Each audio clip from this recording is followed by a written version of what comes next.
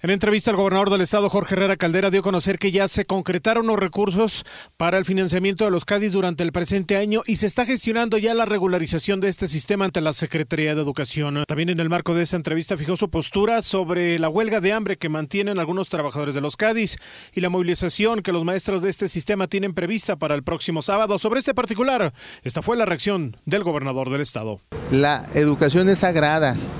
y no puede estar,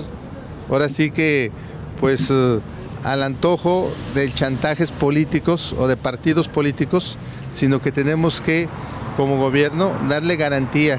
que los maestros los trabajadores siempre tengan sus recursos, su sueldo, su ingreso, pues totalmente cierto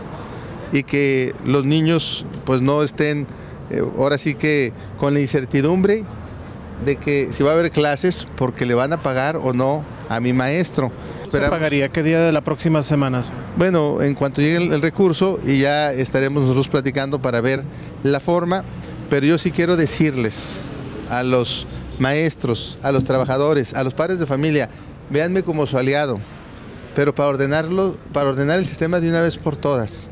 y que no esté, reitero, a expensas de intereses de partido. ¿Quién lo manejaba antes estos recursos? Bueno, pues yo creo que también es importante el que se pueda, eh, pues bueno, los directivos de los CADIS, pero yo creo que se tiene que ordenar y el ordenar es que sea parte del sistema educativo de México y que los maestros pues tengan todas las garantías, tengan todas las prestaciones, pueda regularizarse y pueda ser parte de un sistema nacional y no pues que sea una excepción con tanta incertidumbre y que esa incertidumbre en perjuicio de maestros, de trabajadores, de padres de familia, pero sobre todo de los niños.